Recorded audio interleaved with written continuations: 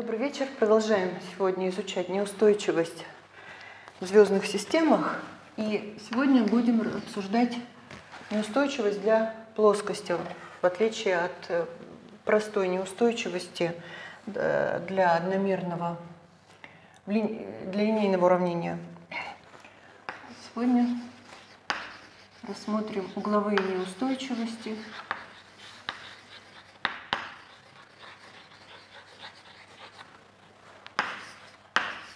звездных системах.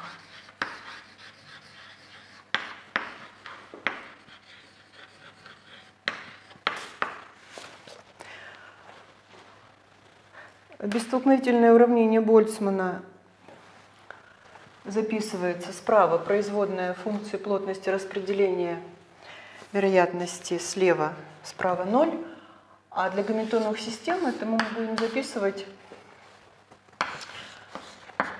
через скобку Пуассона производная функции f по времени, это частная производная по времени, и скобка Пуассона с гамильтонианом равно нулю. Ну, как обычно, скобка Пуассона fh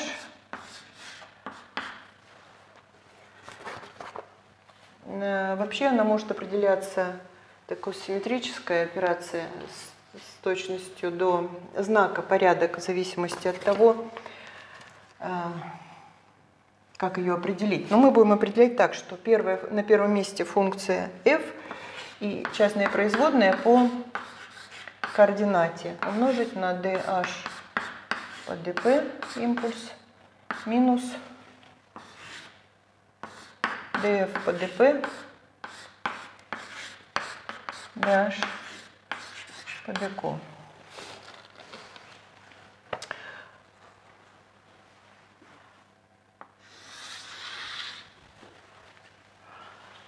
э, Значит, мы будем рассматривать проблему устойчивости в окрестности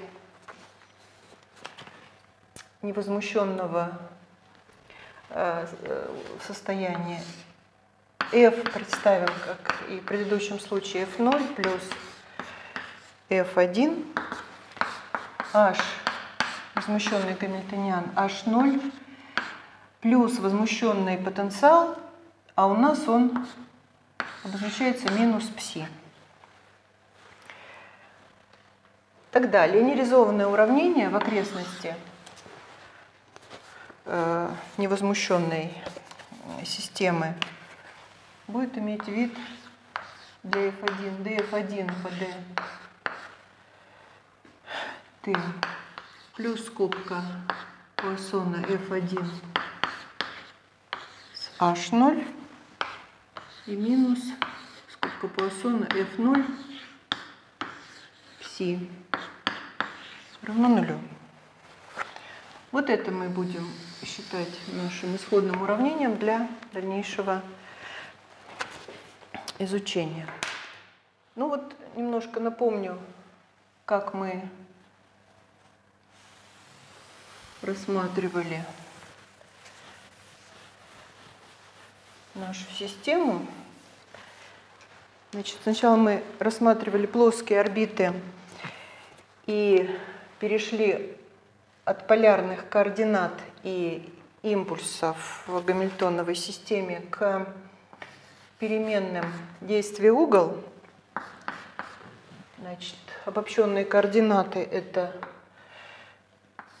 мы будем записывать как, э, если это две координаты, как вектор, жирная буква φ, это φ r и φ φ. А, импульс это переменные действия сопряженные угловым переменным. И со значком r и со значком φ. А, невозмущенный гамильтониан зависит только от переменных действий. H0 от и И, ой, это уже без, это я неправильно написала буквы.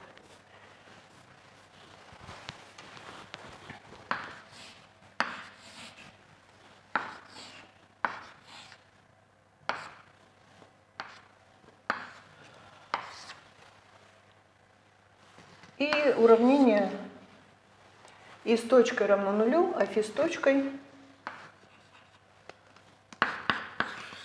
равняется омега от и 0. И у нас возникали резонансные соотношения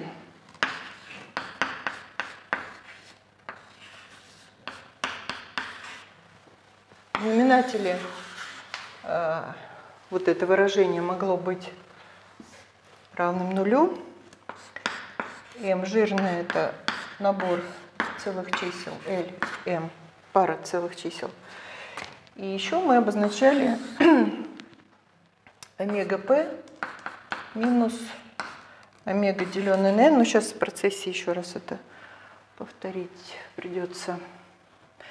Вот. А дальше мы осредняли в окрестности резонанса по быстрой фазе, перешли к переменным э, быстрым и медленным от вот этих наших переменных действия угол. Значит, мы перешли к переменным. Фи, s, фи. Э, значит, медленные, slow, быстрые, fast и сопряженные э, импульсы и s, и f, а, для которых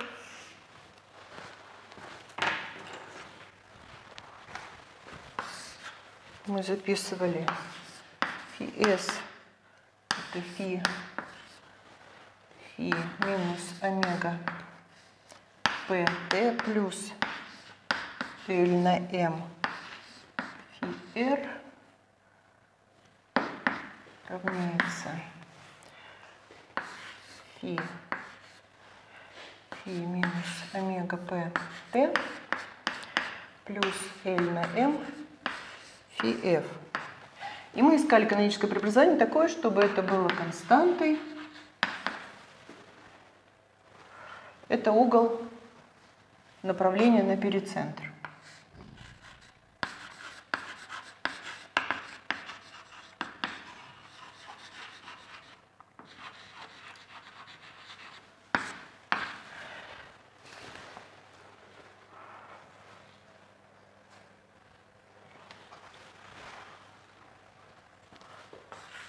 Так, омега S обозначали омега минус ЛК разделить на m. И мы говорили, что вывели в начале прошлой лекции, в первой части прошлой лекции, что есть такая величина z d омега s по dc на невозмущенных и f если это больше нуля, то это критерий Линден Белла, который позволяет сделать такой вывод, что у нас значит, было уравнение э, типа уравнения математического маятника минус z синус фи. И если z больше нуля, то мы получаем э, колебания. А значит, что существует ситуация, когда возможно накопление перицентров, то есть вот эти э, линии апсид, они близки для разных э, частиц, для разных орбит, и можно наблюдать вот так то, что называется бары, увеличение плотности. И вот это мы применили э, к одномерному случаю, рассмотрели критерии неустойчивости, простой неустойчивости джинса, используя вот этот подход. А, теперь у нас будет рассматриваться существенно плоский случай. И э, значит, существует для невозмущенной задачи три главных резонанса. А, это коорбитальный резонанс, когда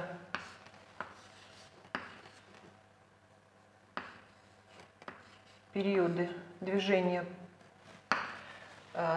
направления на перицентр и вращение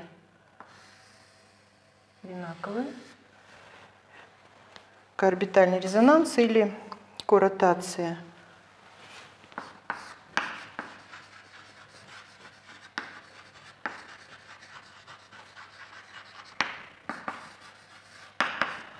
И э, внутренний и внешний резонансы Линблада.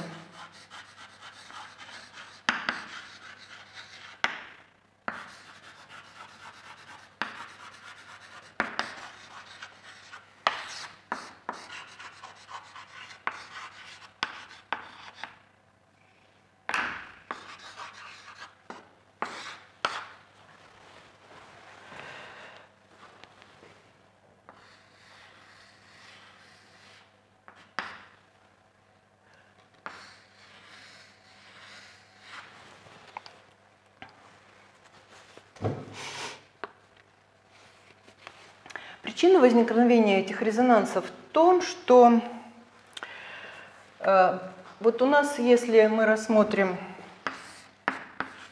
невозмущенное движение, э, функция плотности F0, равновесное решение уравнения э, для плотности, имеет, э, должно зависеть от параметров э, от энергии и от кинетического момента. И вот если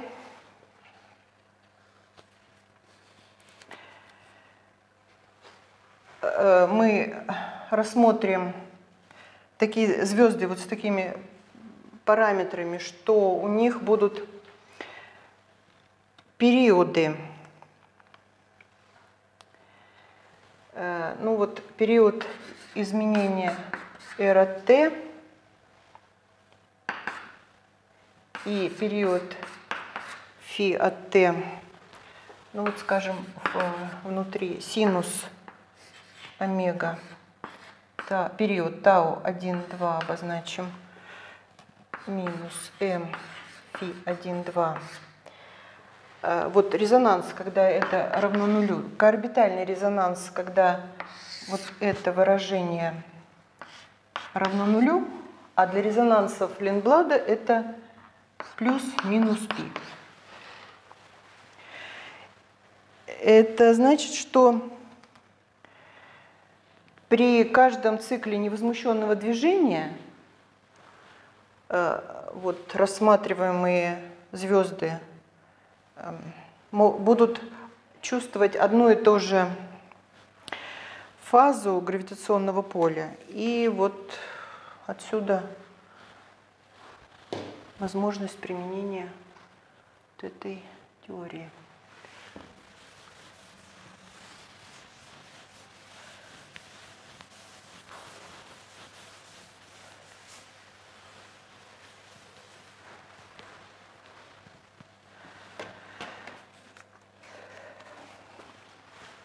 Так, значит, у нас невозмущенный гамильтониан зависит только от переменных действия и f и s. А возмущение мы разложим в кратный ряд Фурье. Сумма по m жирная, это значит m и L. Дальше. Пси. M от переменных действия и времени функции. И дальше e в степени и. M фи. Э, значит, жирные буквы, то есть две компоненты. F1 представим в виде также сумма по m fm э, без индекса уже просто fm. Э, возмущение f1 это вот такое разложение от i t e в степени i m фи плюс и омега t.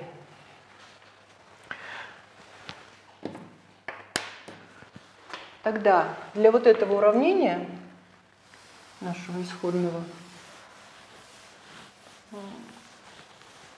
используя разложение, мы получим, используя вот это представление, мы получим и омега fm плюс и m омега М. Вот жирные буквы здесь. Плюс И, М, ДФ0, ДИ, СН равно нулю.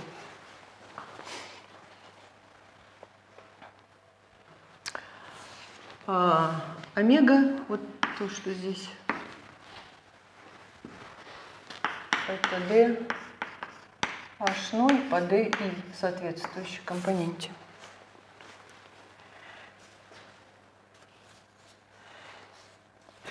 Ну и так же, как с одномерным случаем, мы предположим, что э, вот эта величина e в степени и омега t отвечающая за временную зависимость функции f1, э, такова, что омега есть мнимая, малая, есть малая отрицательная мнимая часть. То есть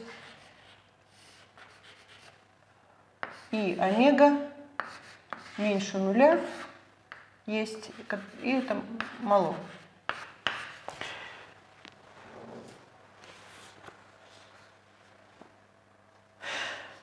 Значит, по аналогии с одномерным случаем, где у нас было э, соотношение и омега плюс и к в f с волной равняется минус и к df0 по dv пси с волной, и мы получили возможность медленного роста неустойчивости – Здесь у нас тоже будет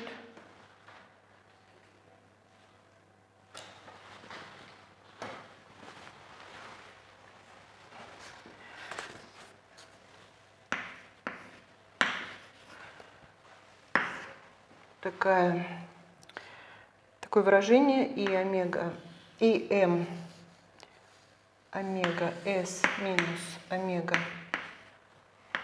p f m равняется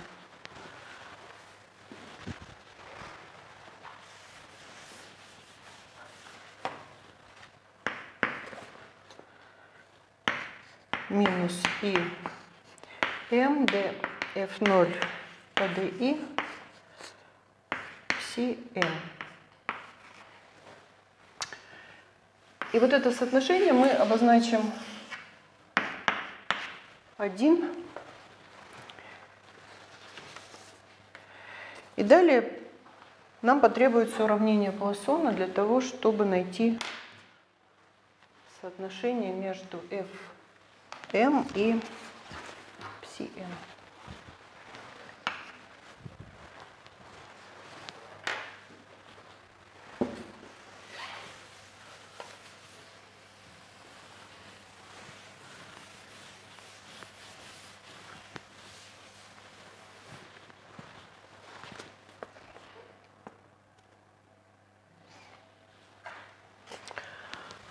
А, в отличие от первого, от одномерного случая, теперь psi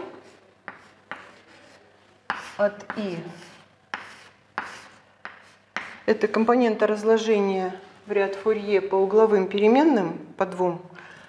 И это равно 1 разделить на 4 π квадрат интеграл пси нашей возмущающей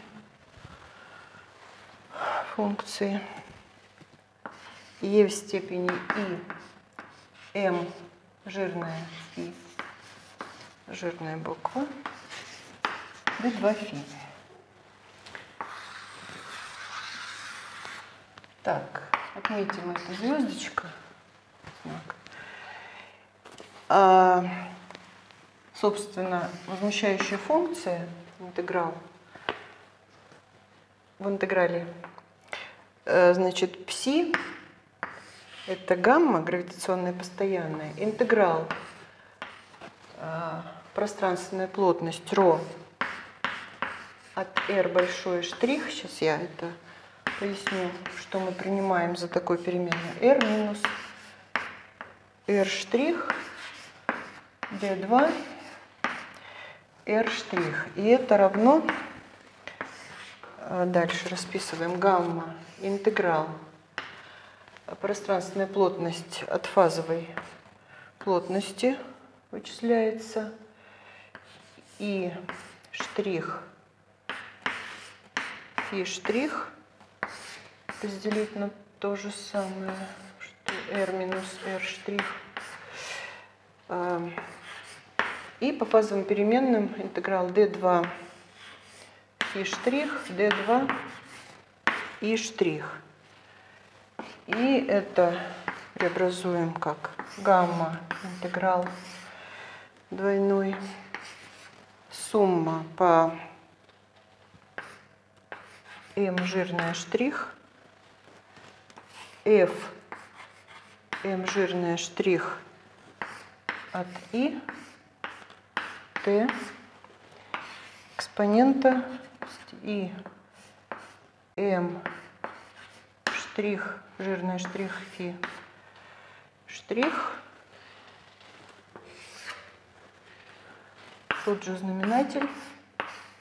R минус r штрих. D2 фи штрих, D2 и штрих. А, и вот это мы обозначим пси, равное вот этому выражению а, две звездочки.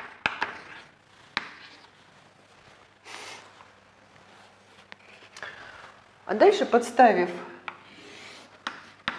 вот это вот соотношение две звездочки в э, одну звездочку, получим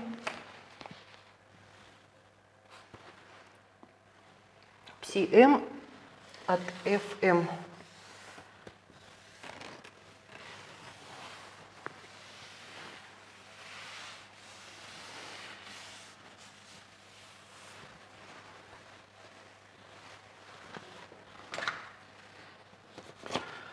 это у нас будет... Так, давайте я вот сюда это выпишу. Это будет соотношение 2, соотношение 1.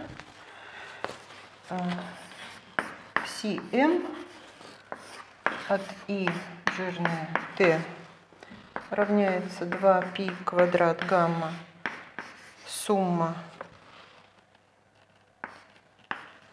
по m штрих интеграл f m штрих, везде жирная буква m, от i жирная штрих t, а m m штрих от i и штрих d2 и штрих. И здесь э, через А, М, М штрих обозначили вот такое выражение. 1 на 8 пи, квад... пи в четвертой коэффициент перед интегралами, э, двойной интеграл в знаменателе r. э, минус r штрих, а в числителе экспонента и. M жирная штрих фи жирная штрих минус то же самое без штрихов m фи. D2 фи d2 фи штрих. Вот то, что обозначалось r это функция от штрих, и в фазовом пространстве. Ну, соответственно, r это функция от того же самого, только без штрихов. А, то, что вот здесь стоит под знаком интеграла, можем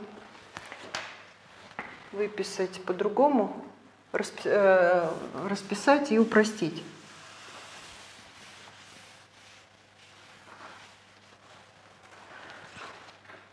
Так, значит,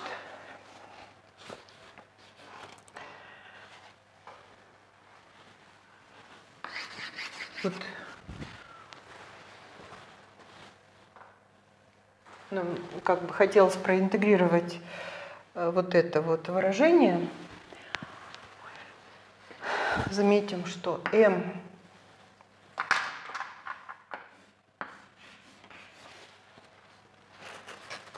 жирная штрих и жирная штрих минус m жирная фи жирная э, значит это жирная буква m это пара m и l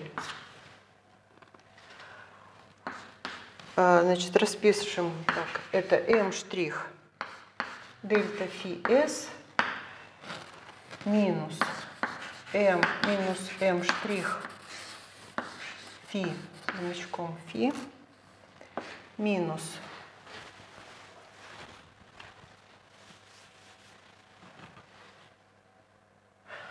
Да, а, а собственно фи это тоже пара фи со значком фи и фи со значком r. Ну а фи r это то же самое, что фи S. Ой, фи F. То есть быстрая фаза, быстрая переменная, по которой мы осредняли. И вот это скалярное произведение расписывается и дальше а, значит, минус L фи R плюс L фи R. Так, это одно утверждение. И еще одно. D. Фи штрих фи. D. Фи. Фи. Это D. Дельта фи S. D. Фи. Фи. Ну вот, используя эти два соотношение для А, М, М штрих. И еще изменим порядок интегрирования.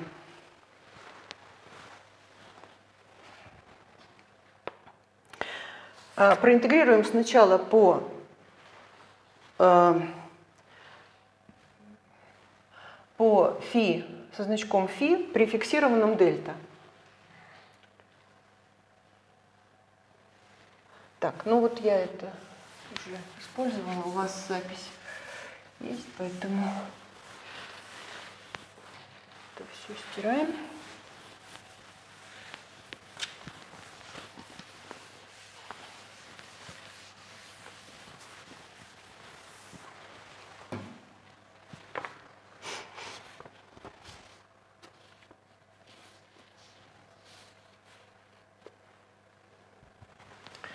Значит, что?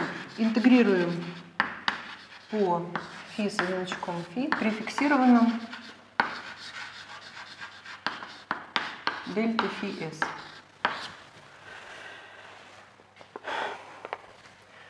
А, смотрите, у нас r минус r штрих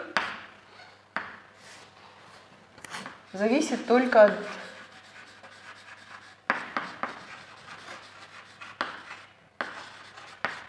от дельта фи.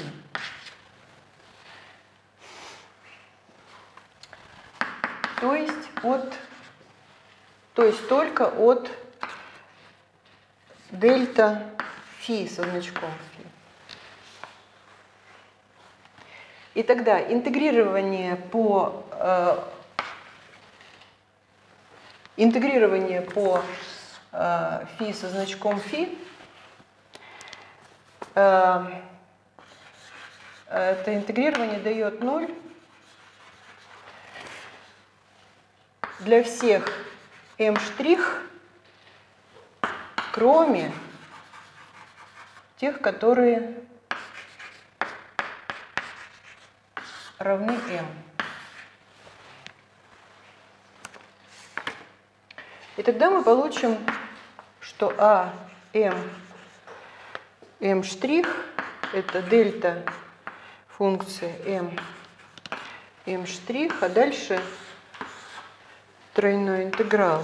D фи f d фи f штрих а, разделить на r минус r штрих экспонента и m дельта фи s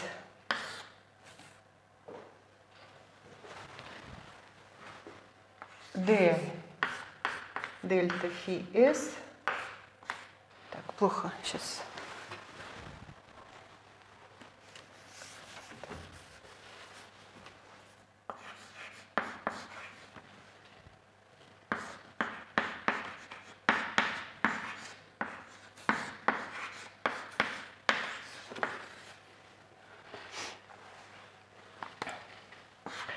А это есть МТ компонента разложение в ряд Фурье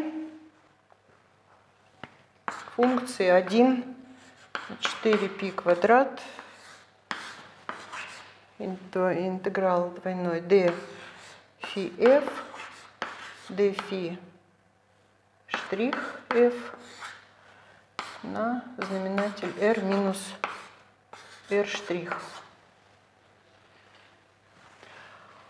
А это есть не что, вот это вот не что иное, как э, взаимная гравитационная потенциальная энергия двух орбитальных потоков с единичными массами. И при этом одна орбита определяется m L и фи S.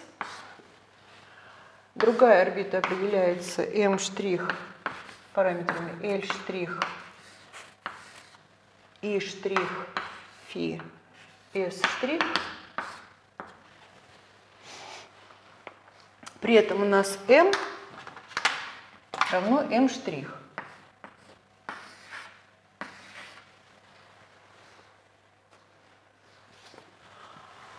А фи S штрих это фи S плюс дельта фи S.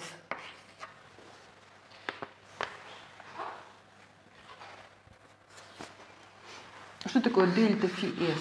Это угол между линиями апсид двух орбит.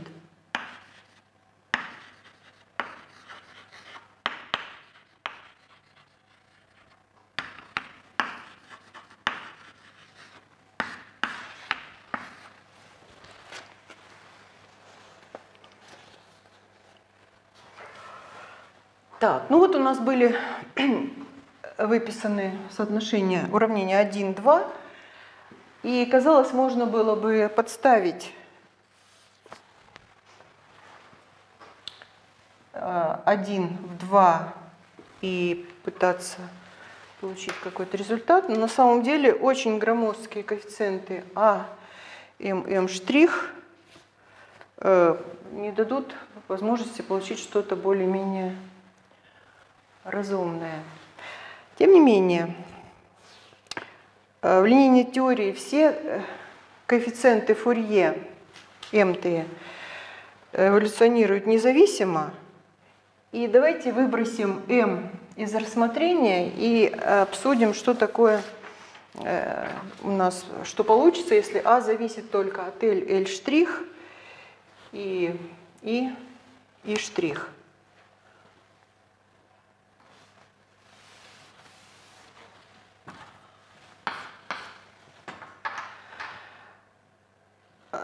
Кроме того, зависимость для э, почти круговых, для, вот, вот эта зависимость от дельта фи s для почти круговых орбит пропадает в случае круговых орбит,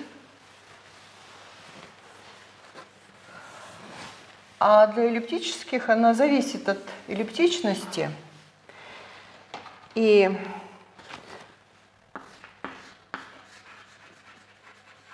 примем приближение в качестве приближения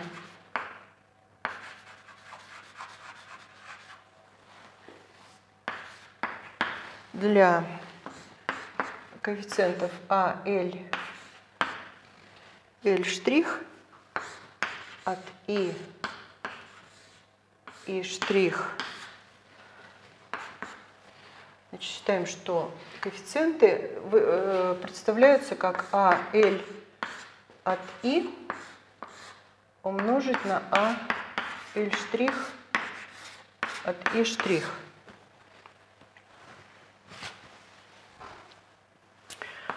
А тогда из соотношения 2 вот этого, значит, вот мы принимаем вот такой способ описания, и тогда получим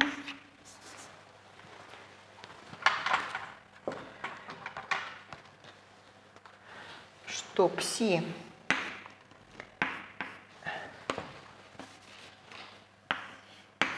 пси m от i равняется а l от i, значит жирные буквы m и умножить на 2π квадрат гамма.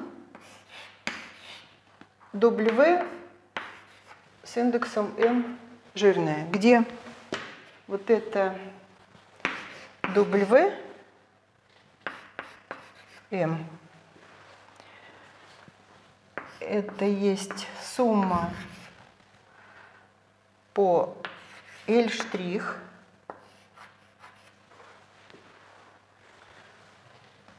Интеграл f m жирная L штрих от I штрих А L штрих от И жирного штрих D2 И штрих.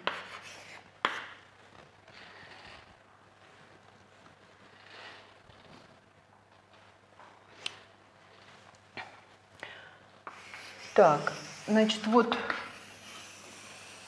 такое выражение для W. И еще из 1, я теперь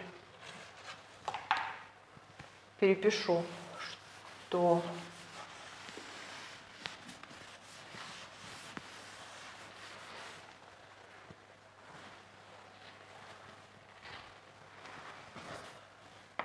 Отсюда мы получим зависимость f. M. Мы просто запишем, что такое f m. Жирное это ми, минус d. F0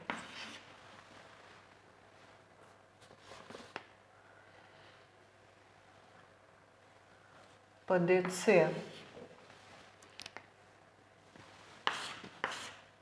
при константе и f Так, э, значит, этот знаменатель.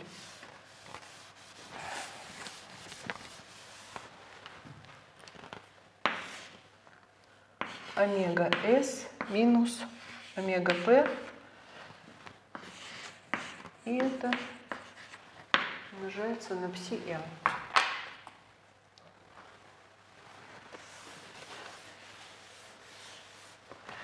А, значит, с это у нас и S. Да, а быстрая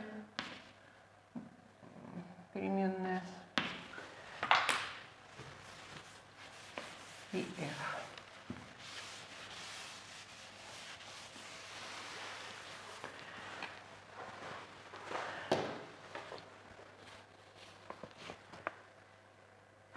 Итак, значит, что мы сейчас э, имеем? У нас есть вот эта вот желтая формула для psi от i. И вот давайте подставим сюда выражение w m.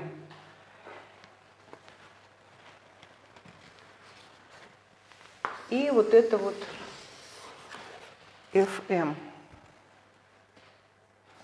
Подставим все вот сюда. Тогда получим, что W M равняется D. Обозначение с, э, сходное с тем, что было для линейного рассмотрения. D WM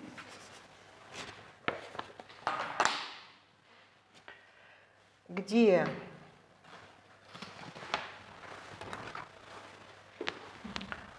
через W обозначено, ой, через D обозначено следующее выражение.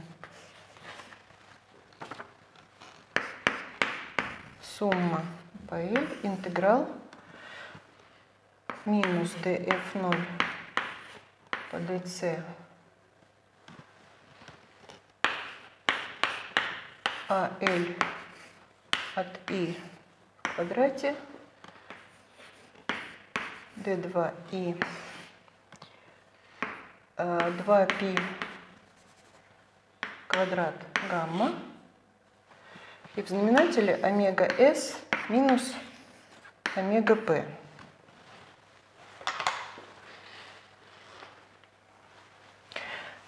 Ну и такая же точно логика для невырожденного решения. Для невырожденности необходимо, чтобы d было равно единице.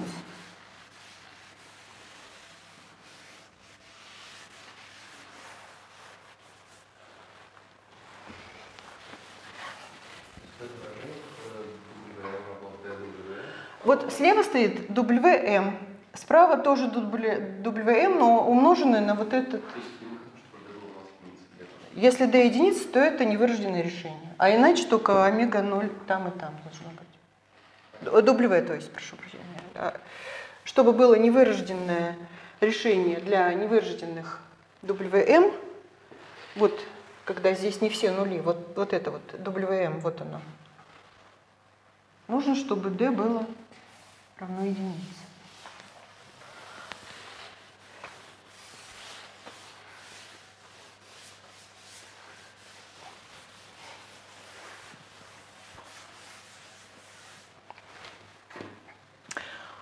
А мы, когда начали только обсуждение, мы еще раз напомню, что такое омега-п. Это минус омега. Это то, что в экспоненте отвечает за временную зависимость экспонента омега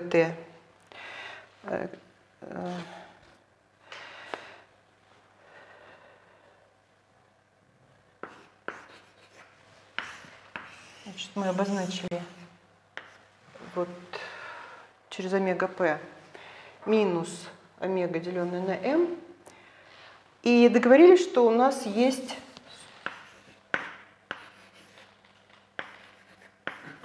э, комплексная составляющая для омега меньше нуля. И это малая величина.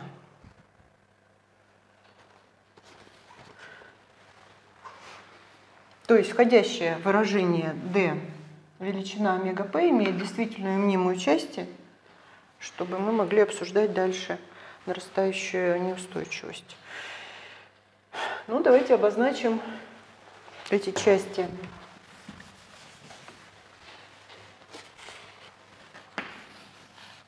Омега p состоит из действительной,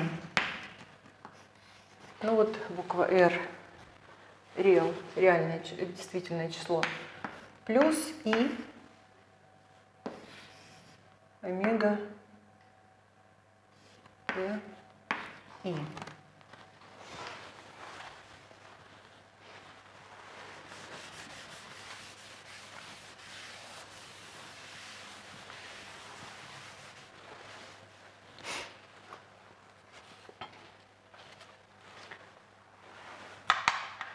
Так, еще раз напомню, что у нас И это ИС, которая равна С, и ИФ.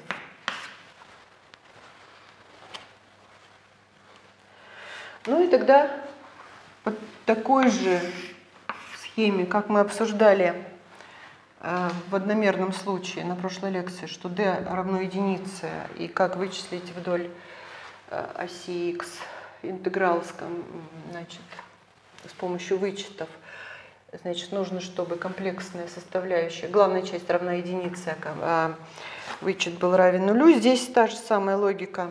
d представляется как d1 плюс d2, где d1 сумма L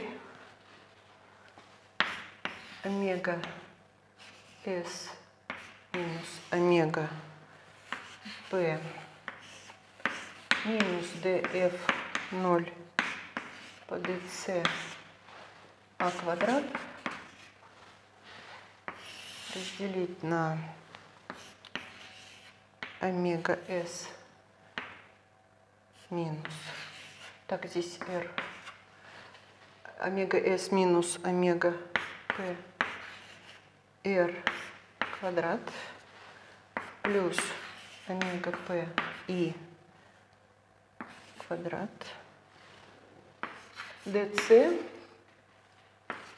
DC это ИС. D и F и умножить 2π квадрат гамма. И это нужно, чтобы было равно единице.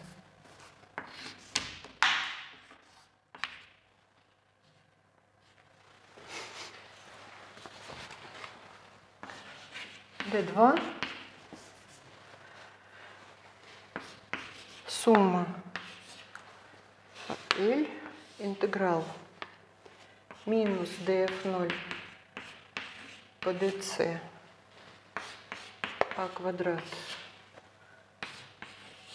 А, знаменатель такой же. Омега s минус омега p r в квадрате плюс омега p и в квадрате и f равно нулю.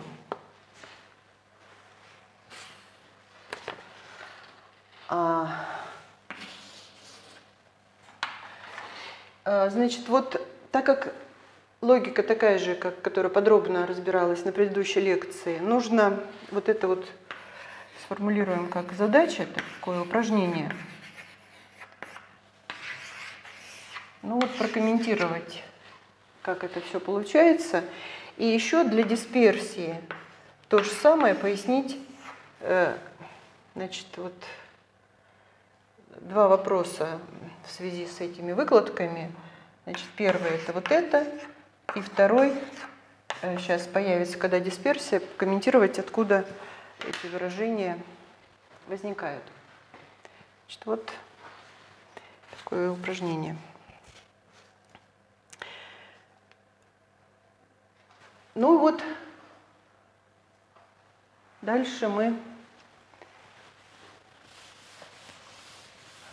хотим все-таки получить возможность появления из неустойчивости э, областей повышенной плотности, то есть попытка объяснить, как возникают бары. И основной резонансный вклад э, для существования таких областей вносит коорбитальный резонанс и внутренний резонанс Линблада. Значит,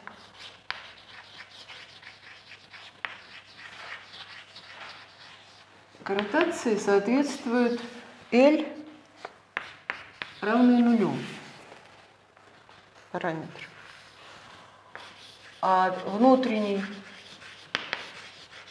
резонанс Линблада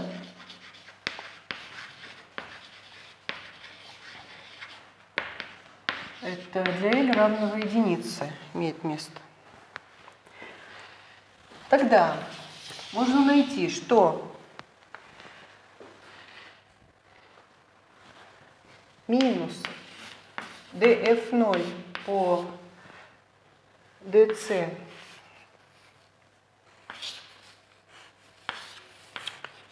при ИФ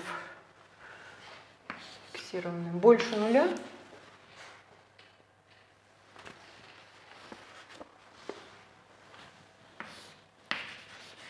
при L равном нулю. То есть, когда ИФ равно ИР.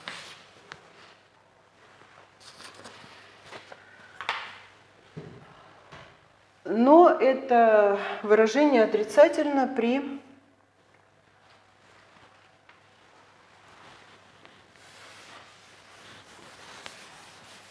или равном единице.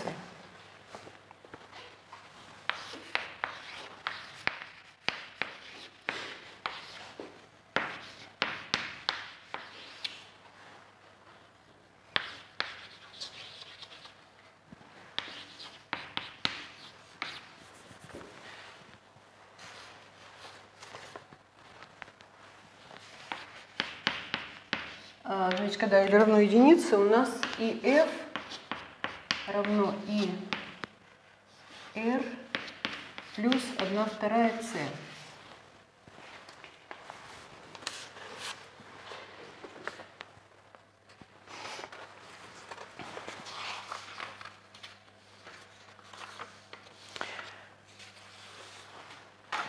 А тогда получаем, что для D2 вот эти два резонанса, которые отвечают за э, неустойчивость, дают противоположные вклады вот здесь. Вклады, значит, противоположные знаки.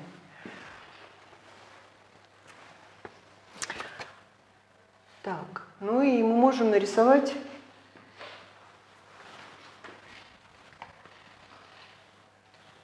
линии уровня для невозмущенной функции распределения. Значит, еще раз, функция f0, невозмущенная функция распределения, зависит от энергии. А энергия гамильтониан зависит от переменных действия. То есть мы можем изобразить линии уровня f0 на плоскости С и R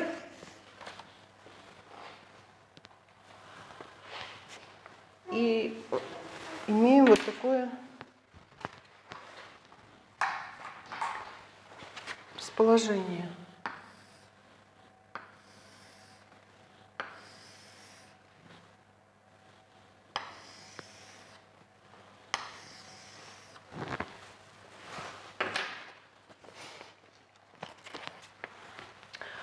Тогда вот эти условия дают нам направление для коорбитального резонанса производная больше нуля. Для внутреннего резонанса Линблада меньше нуля.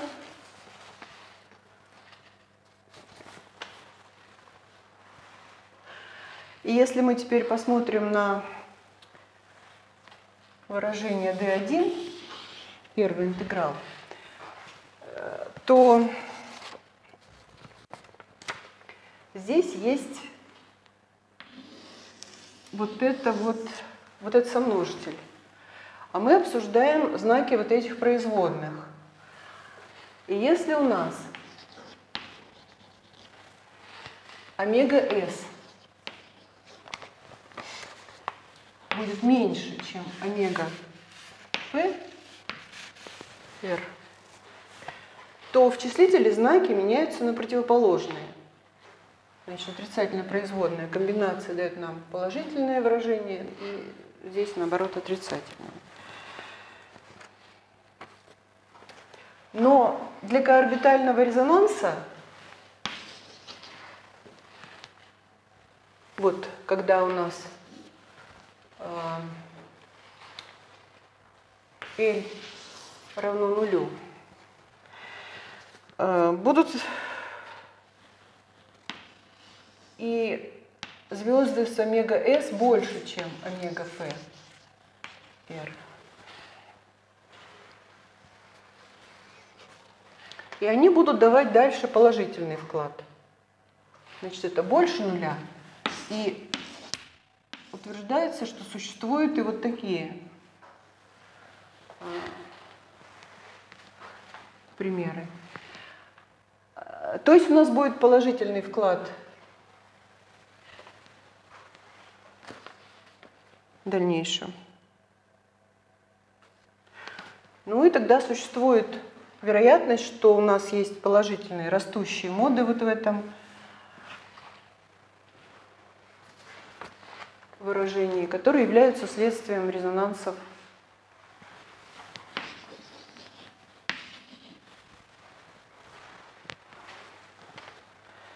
двух типов. А теперь опишем маргинальную неустойчивость таким же способом,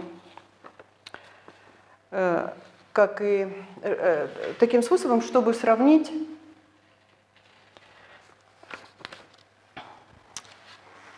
с тем, что получил джинс с джинсовской неустойчивостью.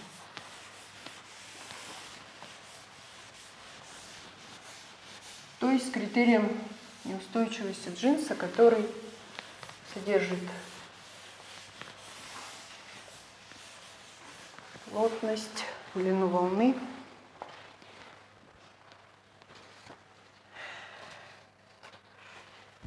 И вот теперь определим то, что вот здесь было как элемент задачи. Определим дисперсию для угловой скорости перицентра. Здесь еще раз, наша цель, вот эта неустойчивость позволяет э, получать накопление вот в окрестности, в одной окрестности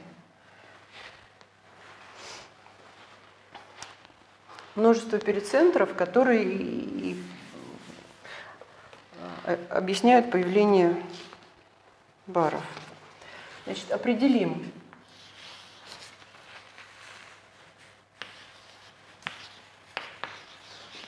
дисперсию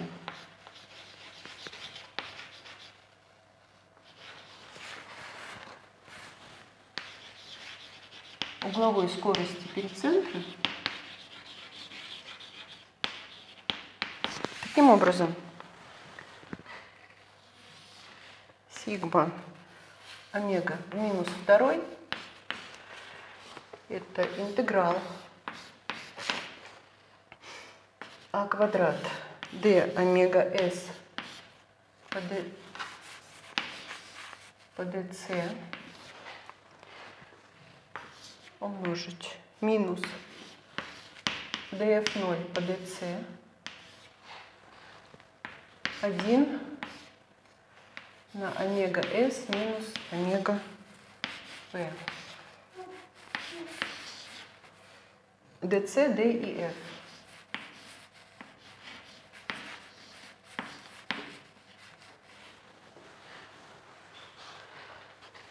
Разделить.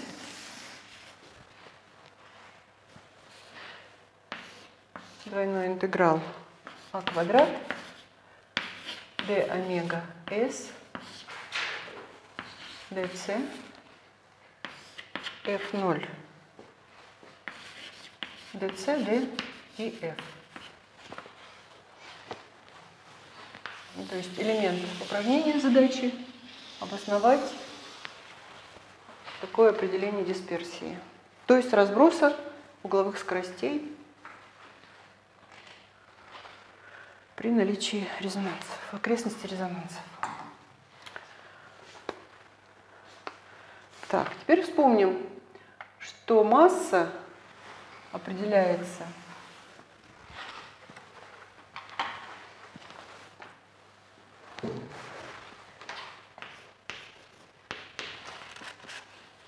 как 4π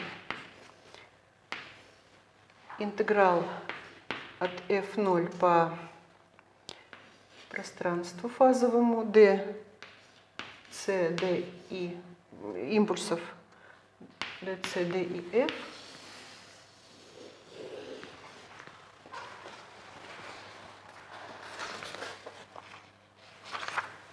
Так, ну теперь уже вот эти d1, d2 мы, наверное, не очень можем стереть. Ну, по крайней мере, Давайте, нет, на них еще мы давайте посмотрим. Вот с какой точки зрения.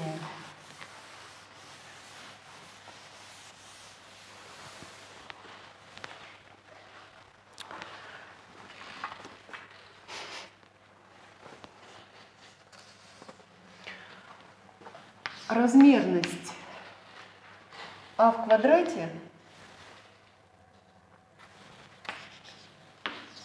это длина минус первой степени. Размерность d омега s по dc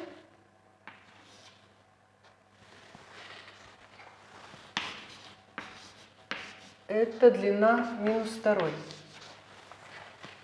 То есть размерности, а квадрат это единица. 1 разделить на длину, а здесь 1 разделить на длину в квадрате. И это можно понять из выражений, из подинтегральных выражений. Ну, частота, что такое c, это кинетический момент, э, это частота. И тогда разумно определить среднюю плотность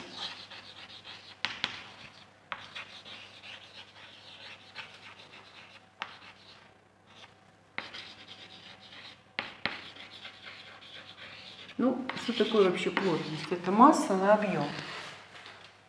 То есть масса умножить на вот это произведение дает размерность плотности. Ну, так ее и определим. Значит, вот сюда добавим под знак интеграла а квадрат d омега s по dc вот эти вот две величины ставим сюда. И тогда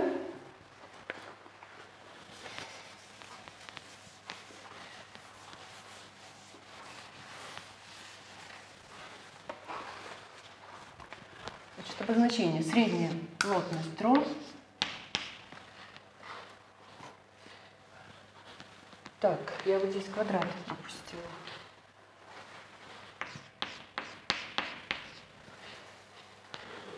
Четыре пи квадрат двойной интеграл а квадрат d омега s по dc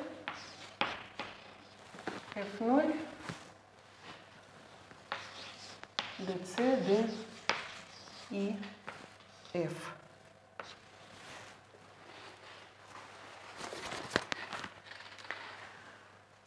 А тогда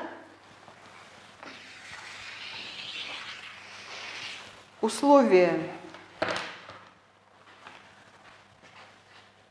значит, условия. Маргинальной неустойчивости, что D1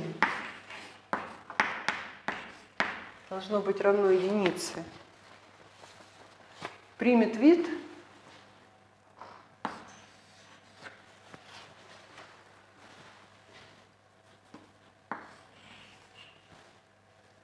сигма омега в квадрате равняется гамма разделить на 2 и умножить на среднюю плотность.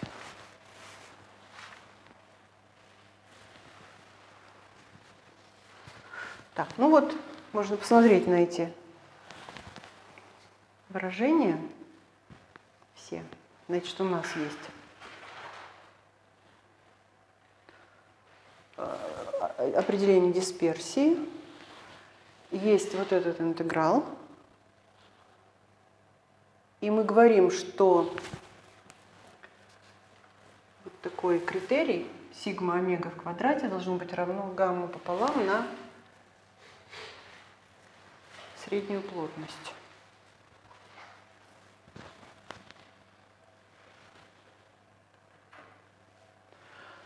То есть это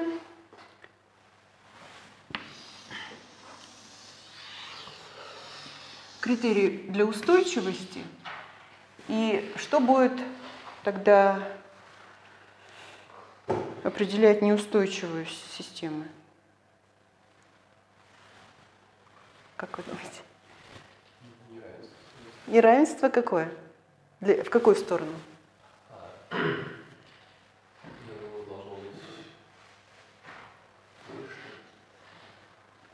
Что больше, как что?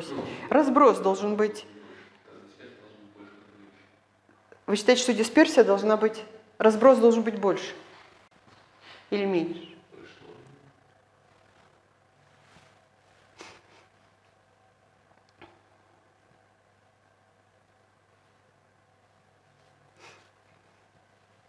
Ну, при этом надо вспомнить, что у нас было для линейной неустойчивости. Давайте я вот здесь напишу.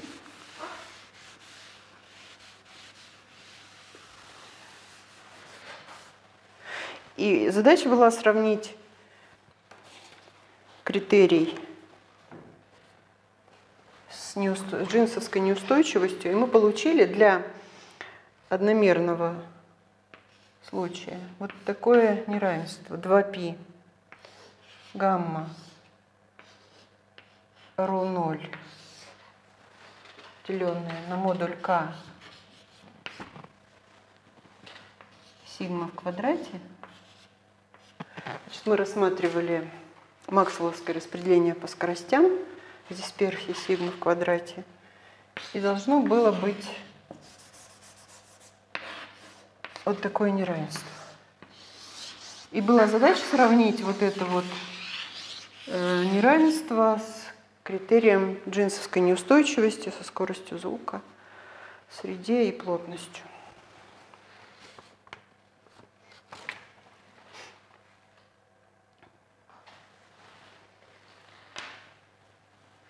Ну, то есть прямая аналогия в чем будет? Значит, здесь v была скорость, а, а, значит, x, v это x точка,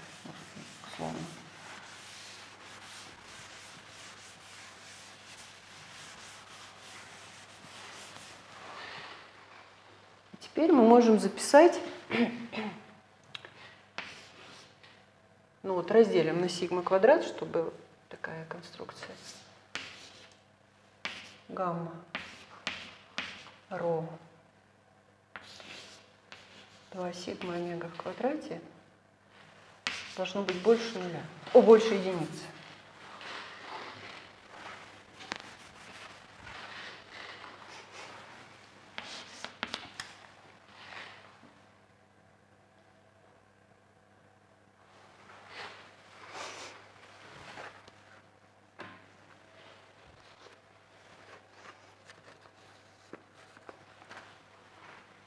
Ну, то есть здесь должен быть знак меньше. Если маленькая дисперсия, то система будет неустойчивой. Итак, еще раз. Значит, э, у нас было выведено вот это условие для линейной неустойчивости. Ро – плотность, здесь у нас средняя плотность.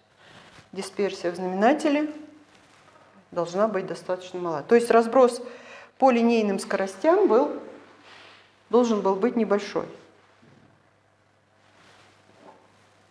Еще раз, мы тогда сформулировали, что для джинсовской неустойчивости система неустойчива, если дисперсия линейной скорости мала. Вот, вот здесь была дисперсия линейной скорости.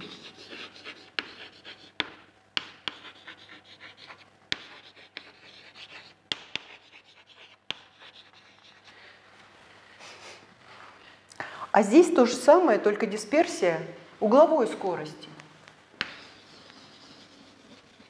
Дисперсия угловой скорости перед центром должна быть мала. Но правильно, разброс будет небольшой, и будет э, аккумуляция э, в окрестности линии апсид. Вот в чем качественный результат. Ну и формально то же самое. В одномерном случае у нас линейная скорость, в плоском – угловая.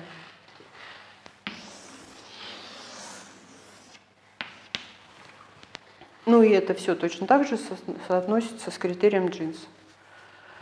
Так, ну еще вопросы, если какие-нибудь есть.